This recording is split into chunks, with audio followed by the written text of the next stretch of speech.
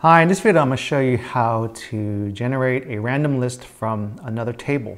So let's say for example that we have a table here and we just wanted to create a random list of people, maybe it's a lottery or something like that or they have a prize and we want to create a random list of these people and get, their, get it on an output here. I'll show you two ways, one using the new dynamic array features that are only available in Microsoft Office 365 and another way using just the random function. And later on, I'll show you a little bit of the details of the two dynamic array functions, the sort by function and the random array function that I use here. A little more detail on how they operate, right? So let's go into how we create a random list from this list here. To do that, using the rand function, rand array function, what I can do is use sort by, and we're going to sort by, we're going to sort this array. We want the full name of the people. We want to sort this by some random list. And I will use the rand array function to do that. Double click, I'll tab that. So there's 20 rows here, and I want a random array of 20 rows.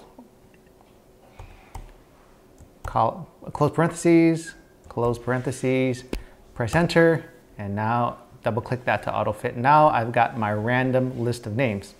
Now this is a volatile function, meaning anytime I can, I can press F9, the random list will be regenerated. So it just regenerates that random list. And I can just pull this out. Maybe I just want the top five here. And I can pull that out and, and these are my top five prize winners or whatever.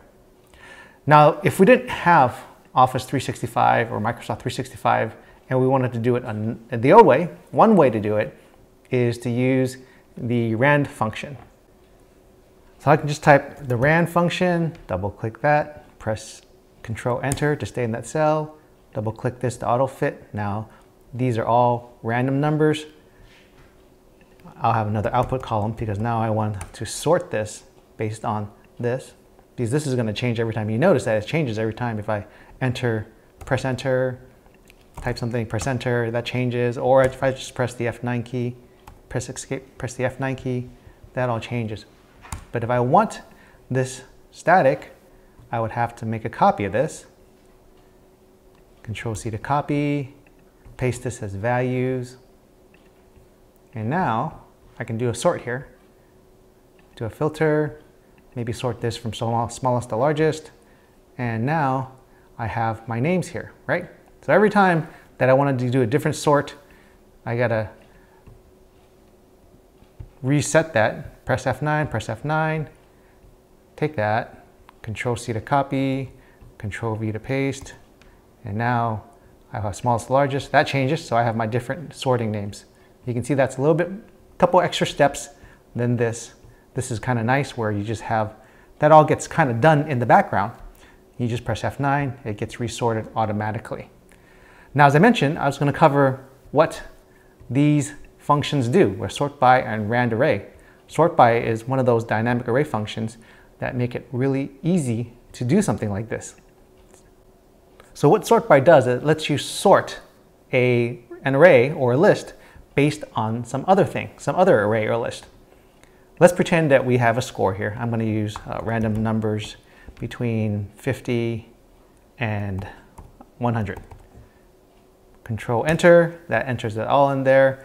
And let's make this static. I don't want this to change again because this is another volatile function. If I press F9, you can see that all changes.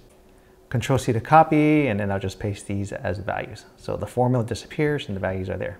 So the sort by function, you can type equal sort by this one. You can see that it takes two, at least two required arguments. First is the array, which is basically my list here. I want to sort this list by what? By another array, another list. So I'm going to sort it by this list, right? And the sort order, it's either going to be ascending or descending. So 0 to, 0 to 10 or 10 to 0, right? So by default, it's ascending. So I don't really need to click on that, but I'm just going to click 1 anyways. And the nice thing about the sort by is you can have other arrays. You can, you can do additional sorts. So, but let's sort by this first. Press enter, and that's what we've done. We've sorted by the scores. So now we see the sort order, it's gonna it's ascending, so the lowest number starts first. Let's see what's the lowest number here. It's 50, right? Sarbar Darch. So Sarbar starts first, right? If I change this to descending, it's gonna be, I think either Rossi or I think it's gonna be Bethane first. Let's see. So that's gonna be negative. That's descending. Press enter, and now we have Bethane, Bethany, and then Ross, Rossi next, right? So that's the sort order there. So it's a good thing that we have two numbers here that are the same, 98 and 91. You can see that it's sorted by the B is first, right? B and then R, right? So B comes before R here. But let's say we want to sort by the last name. And the sort by function gives us the ability to sort by more than one array. So let me go back in here. And let's say we also want to sort by the last name.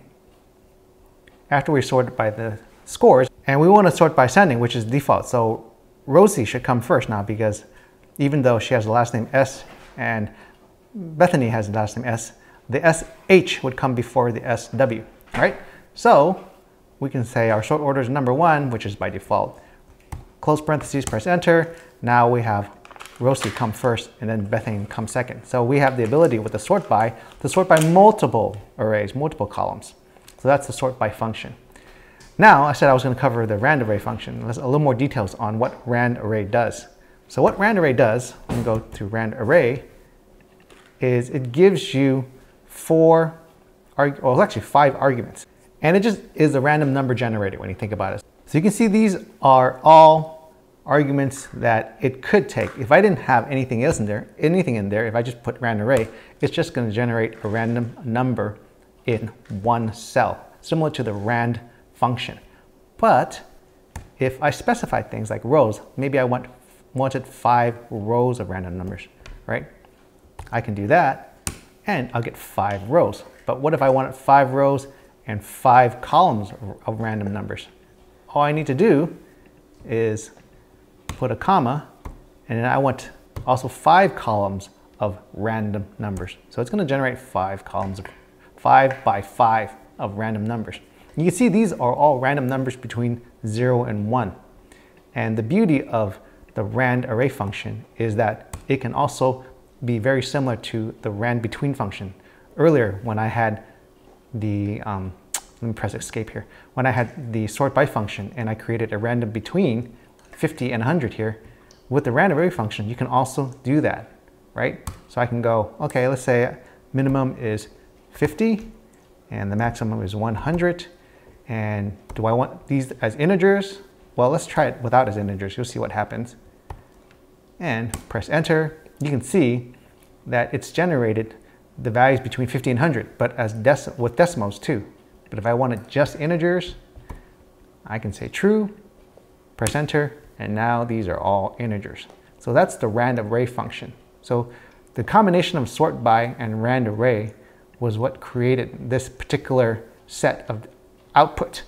Maybe a little more detail than you needed, but that's the explanation behind what is giving this output. So if you had Office 365, this one function can create this random list based on here. And if you didn't have Office 365, you'd probably have to do something like this where you'd create a rand and then put it into another column, sort it, so you can get your random list of people. So this is a little bit more manual work. Using the dynamic array functions here, it becomes quite easy to do. So that's the way that we can create a random list based on another list. So I hope that helps. Thanks for watching.